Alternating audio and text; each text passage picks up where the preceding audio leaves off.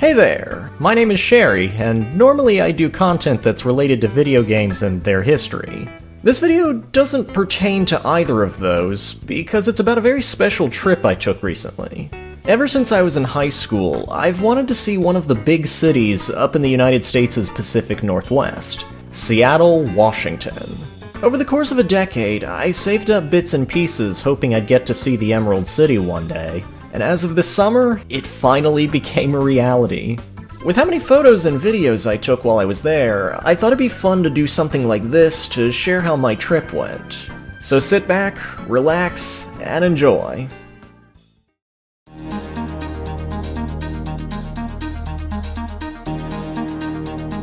First things first, I had to get to an airport, which meant going back to my hometown of Atlanta, Georgia. It's been a long time since I still lived here, but I still come down here occasionally for things like conventions and family get-togethers. If you've never explored Atlanta beyond its airport, it's sometimes called the City in the Forest because of its ample tree cover, which is a pretty good thing to be known for instead of our awful and confusing highways. But I shouldn't snark at my hometown too much. It's actually quite a beautiful city, and if you ever have a chance to see it, you really should.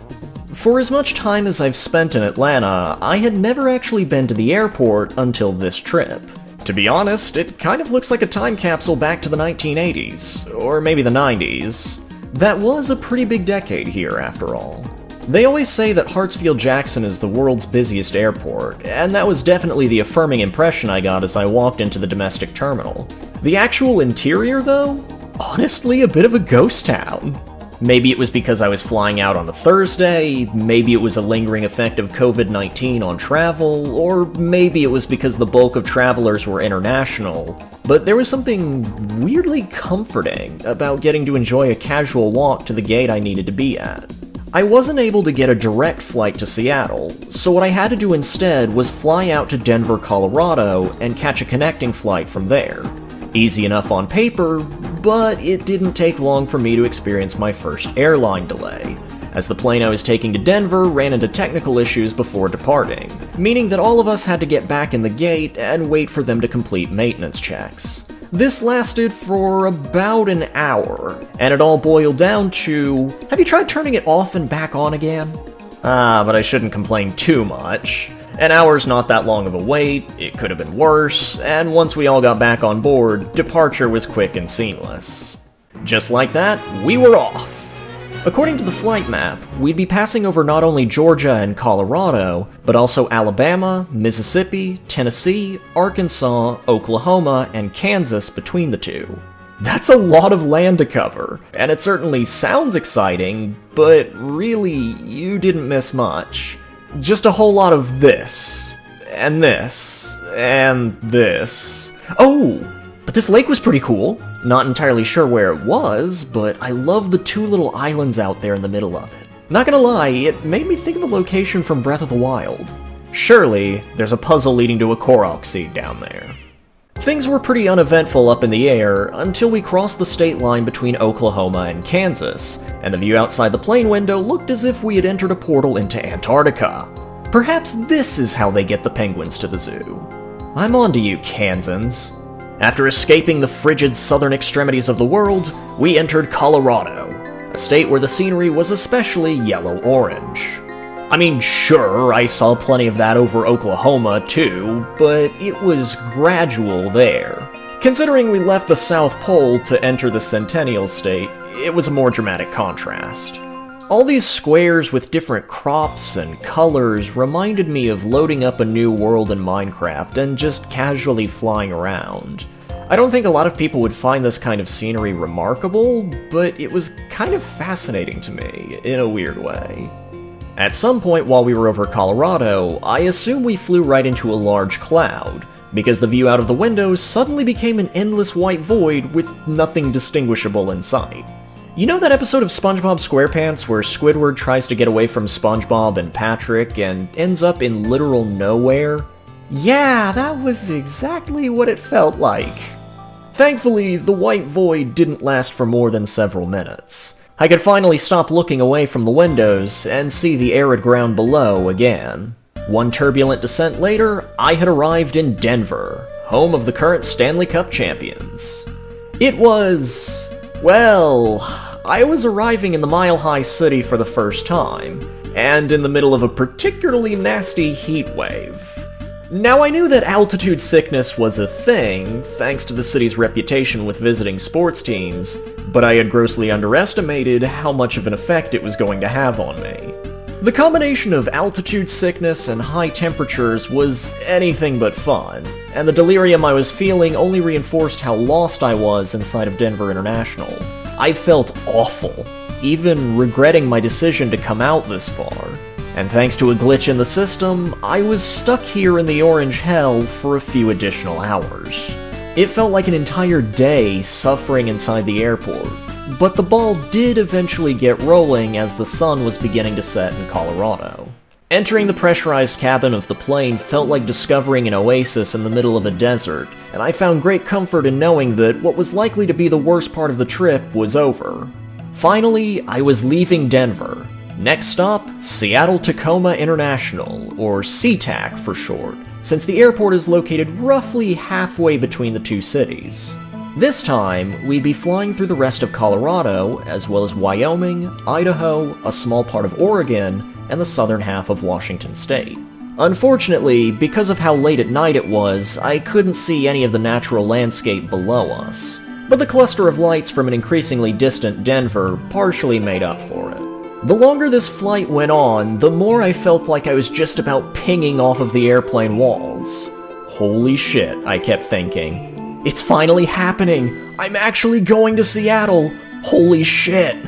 I couldn't tell where we were through the dark of the night, until, all of a sudden, there it was. A sudden galaxy of lights piercing through the window of the plane. We were beginning to make our descent into Seattle, a city I had dreamt of seeing as a starry-eyed teenager. And now here I was, nearly a decade later, an adult with the stars returning to my eyes.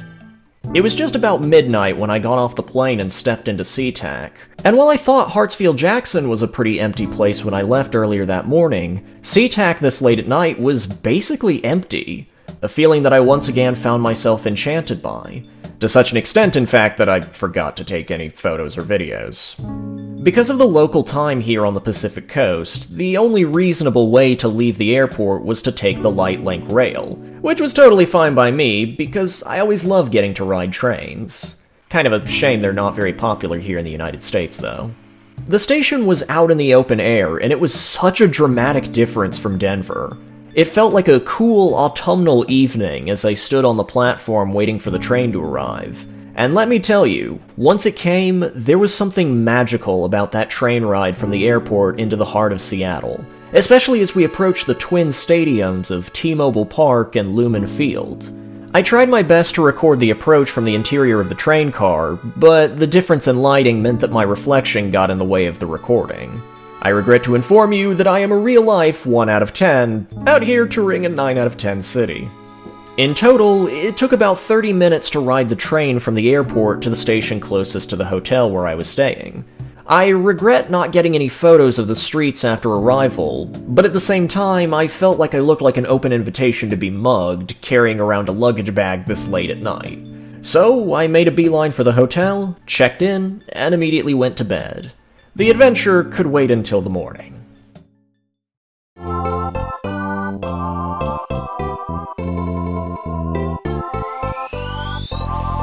Day number one in Seattle began with me waking up at about 5.30 in the morning. I wasn't sure if that was just me being excited to be here, or if my body was still operating on Eastern Standard Time, thinking it was 8.30 instead.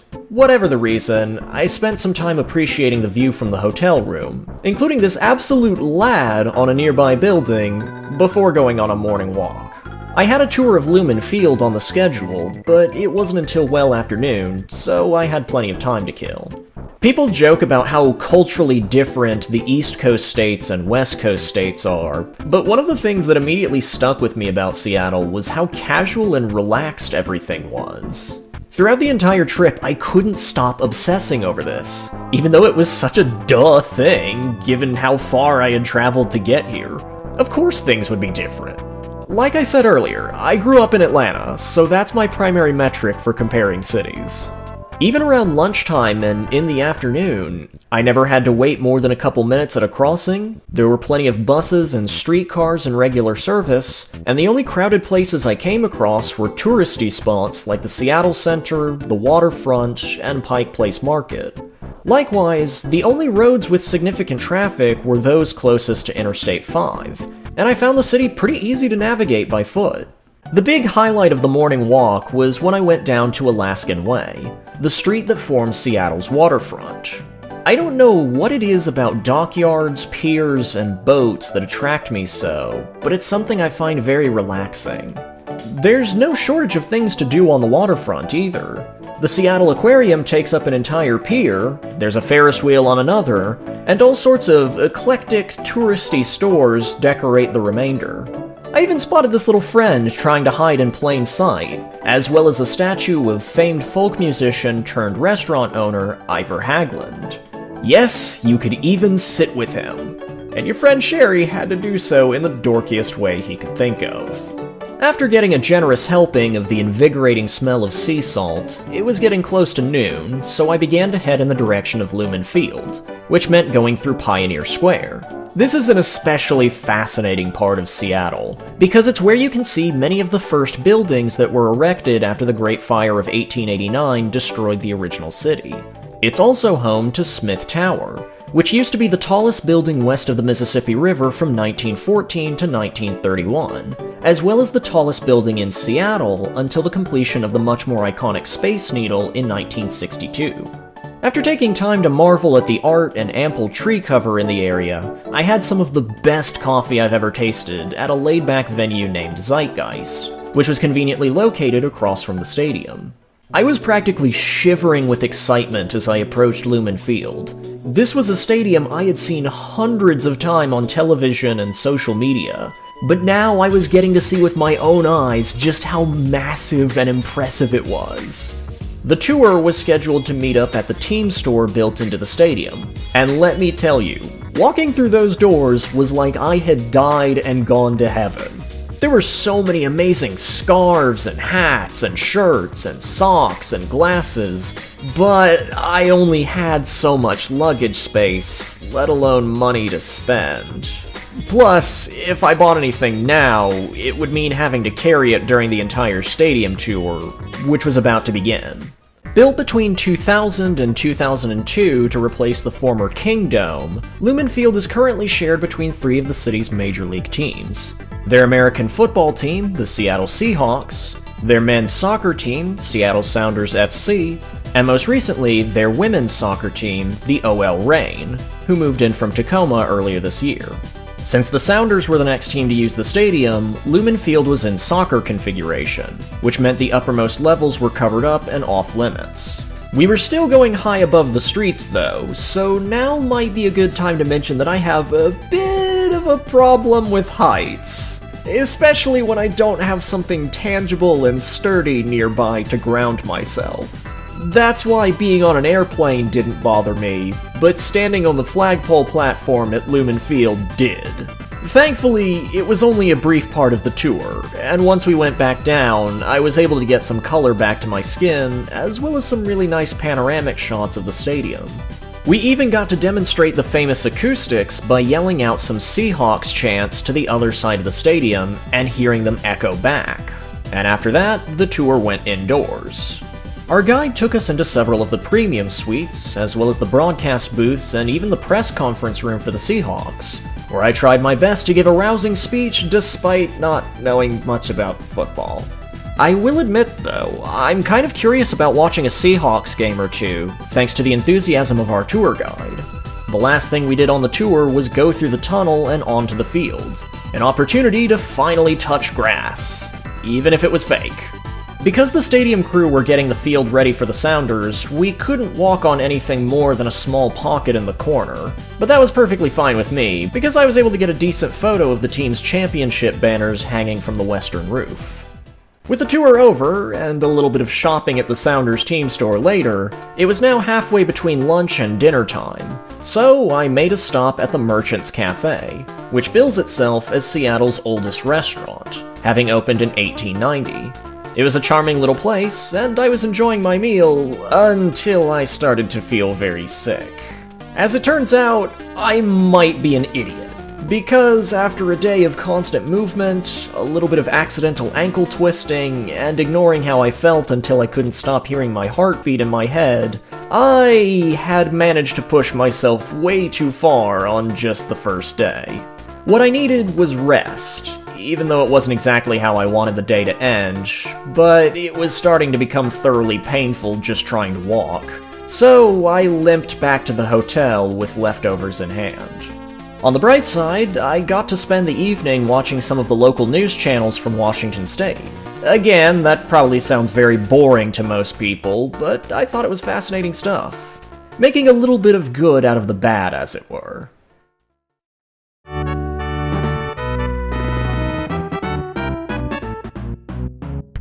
Day 2 in Seattle was the big day, considering I had scheduled this trip around a Sounders game at Lumen Field.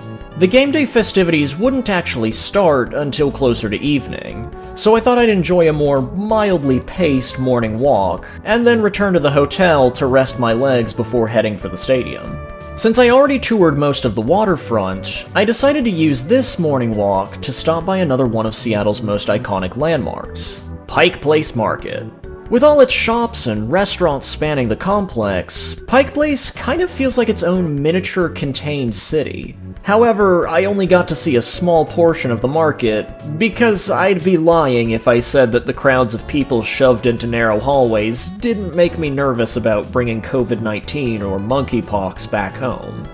At the very least, I got to go through the corridor under the market, leading to one of Seattle's most charming, and grossest, attractions the gum wall. And yes, people were adding to it as I walked through.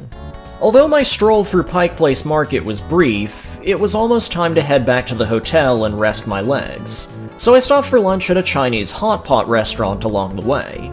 It felt good to get away from the crowd and enjoy more of that casual seaside ambience, and I even spotted some Sounders flags flying from surprising places. Oh, right, the hot pot restaurant. Uh, if I'm being brutally honest, it was a bit of an awkward experience since I had never had hot pot before, so I made sure to thank the server profusely for their patience and help. A couple hours of rest at the hotel later, I slipped into my full rave green attire and made my way south to Occidental Square.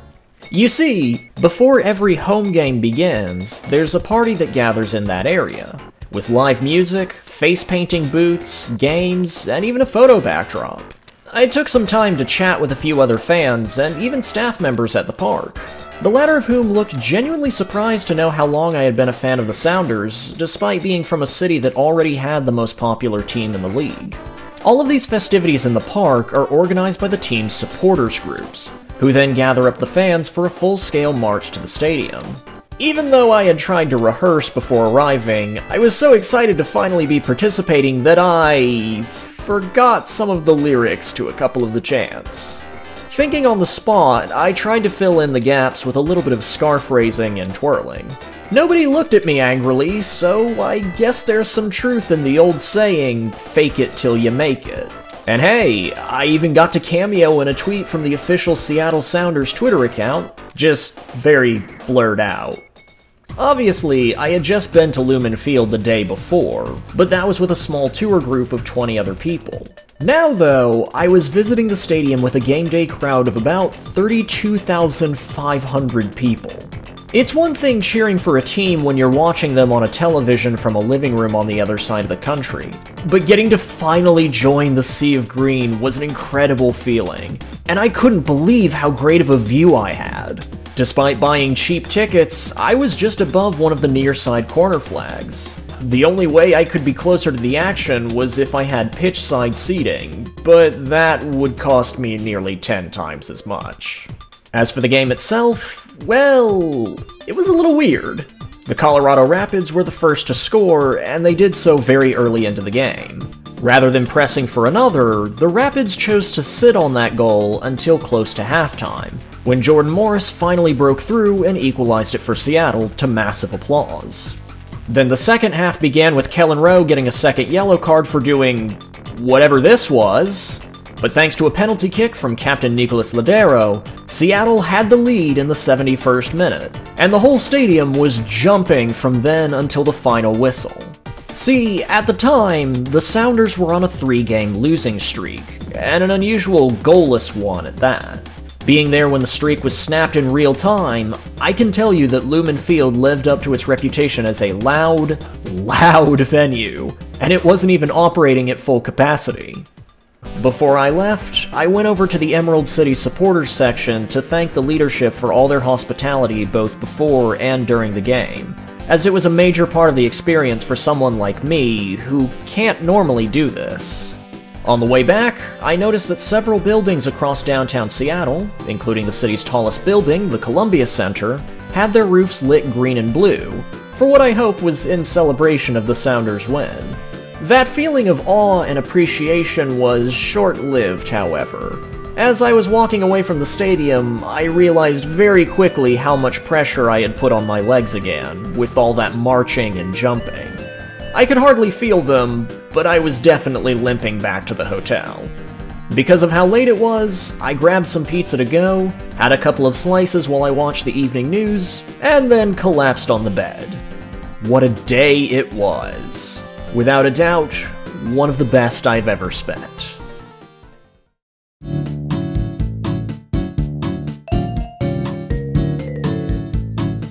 Day 3 was my last full day in Seattle, and thanks to all my antics at the game the night before, I really needed to take things easy, lest I incurred any sort of long-term damage to my legs. This sadly meant having to cancel my side trip to go museum hopping in Bremerton. Instead, I went back to the waterfront to pick up some souvenirs for family and close friends, and then took the light rail to the suburban side of Seattle in Roosevelt. You see, one of the Sounders players co-owns a cafe in this area. His name is Fredy Montero, and he's from Campo de la Cruz, Colombia. This cafe, named Santo Coffee Company, specializes in Colombian coffee, serving a cup of Fredy's homeland with a modern, fair trade compliant dining experience. Now, Santo was already high on my list of priorities, but visiting after the big Sounders win the night before made it even more of a special treat. The drink I ordered was a panela latte, flavored with orange bitters and raw cane sugar. It was wonderful, and I even got to enjoy a brief chat with the cafe's other owner, Mikhail Giveronsky, before I left. It was a thoroughly enriching experience, but there was still one thing I had yet to do in Seattle. I hadn't gone to see the Space Needle. Sure, I had photographed it a couple of times, just chilling out in the distance, but that's not the same as going to see it in person. Getting there meant walking through the Queen Anne area, which was a bit of a trip, but it wasn't too much trouble on my legs. I even found a really nice statue of the city's namesake, Chief Seattle, on the way there, nestled in the trees that dotted the roads. Not the first monument to Chief Seattle I had spotted during my trip, since I found one in Pioneer Square earlier, but I do regret not reading more about his life so that I could better understand and appreciate statues like these. Within just a couple of minutes, I had entered the Seattle Center, with the base of the Space Needle coming into view. Going into the gift shop inside, I quickly ran into the same problem that I had encountered at Pike Place Market the day before. Too many people in too narrow of a space. As obligatory as a trip going up to the Space Needle's observation deck was, I felt much more comfortable just wandering around the Seattle Center and photographing the Space Needle, complete with its special anniversary bronze roof, amidst the scenery. Which leads me to the photobombing detail at the bottom here. See, when I was watching the local news back at the hotel, I found out I was visiting Seattle on the exact same weekend as this year's Pokemon Go Fest.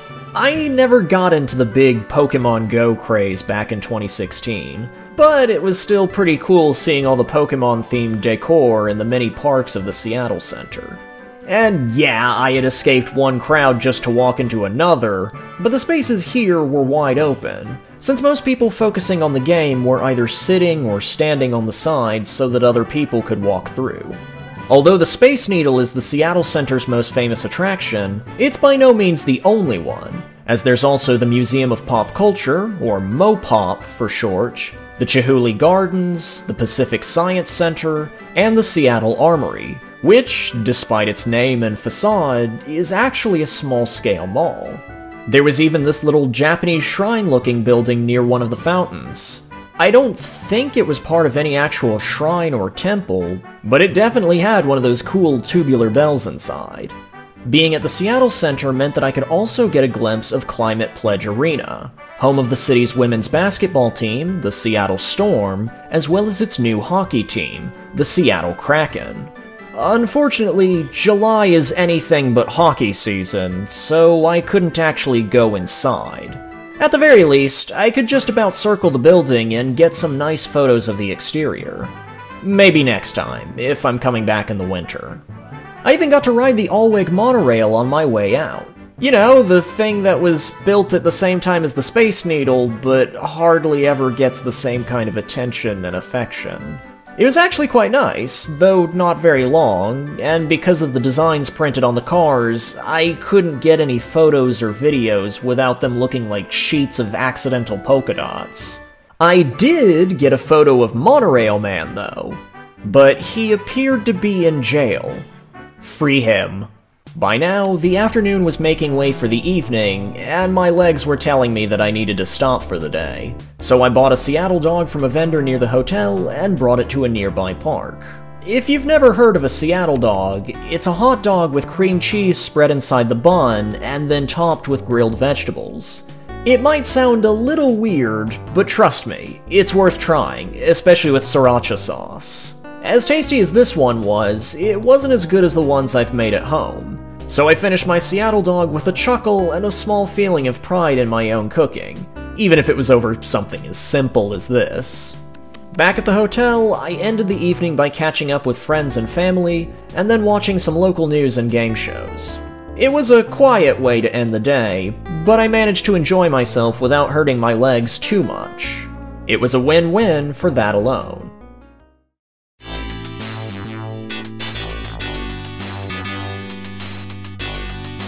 Alas, all good things must come to an end, and I only had enough to stay three full days in the Emerald City.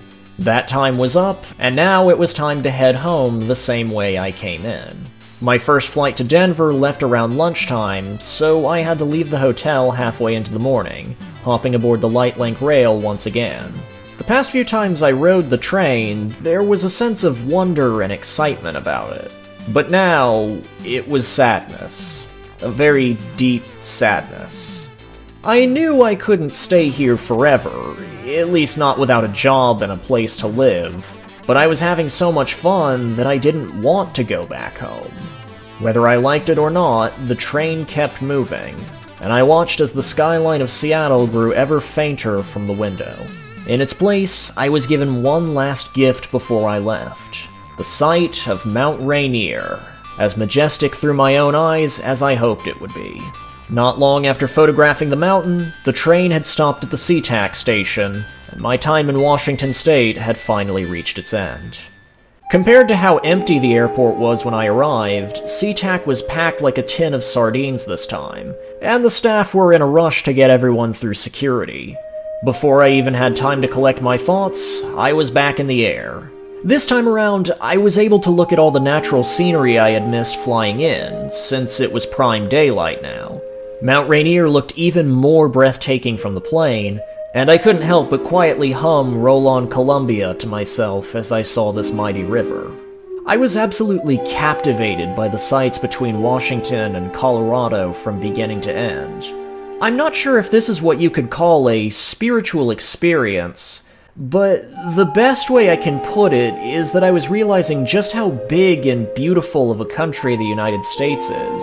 How important it is that we do what we can to preserve this for ourselves and those who will one day follow us, and how jealous I was of Idaho in particular for having the most consistently painting-worthy scenery. Indeed, before I had even realized the passing of time, the land below was a familiar palette of yellow-orange, and I was landing in Denver once again. Considering how my first experience with Denver's airport went, I was dreading the thought of getting stuck and potentially sick here again. But thankfully, it was only a short stay. After a mild trek across the airport, I was aboard the last flight of my trip, heading back home to Atlanta. The sun was already starting to go down while I was getting seated, so I'd be flying into the sunset, and there was something particularly poetic about ending the adventure that way. The flight from Colorado to Georgia was like an artist's palette board, splendidly showcasing the many colors of the sky, blending from one scene to the next. Unfortunately, tried as I did, I couldn't get very many good photos. This one, for example, was much more vibrantly pink in person, but my phone's camera could only capture this peach-toned hue. The same could be said of the deep blue skies of the coming nightfalls soon after, they were much more saturated in person, I assure you. As those two scenes gave way to the final act, everything was once again covered in the shroud of midnight, until the lights of Atlanta came into view. For better or worse, I was back home. And that was my summer adventure to Seattle, a trip that fulfilled an almost decade-long dream of mine. Although I was limited by tight funds and accidental leg injuries, I thoroughly enjoyed my time in Seattle. Cheesy as it might be to say, it was everything I was hoping for, and more. The smell of sea salt and sight of ferries on the waterfront, the singing and shouting at Lumen Field, the endlessly picturesque scenery around the Seattle Center and the Space Needle, even little things like this public waterfall garden and the simple beauty of taking photographs looking up and down the city's hills. Nothing about my trip to Seattle felt boring or dull, and I barely scratched the surface of things I could do there. In a weird way, I kind of felt at home in the Pacific Northwest, even though it was only my first time visiting.